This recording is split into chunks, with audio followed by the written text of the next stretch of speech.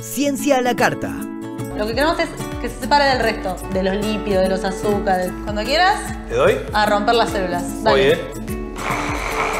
Está, poner acá que está frío con unos hielitos. Y le vamos a agregar alcohol, que es alcohol común. ¿Te animás a Sí, sí, tirar sí, esto sí, acá? sí, me quedo. Dale.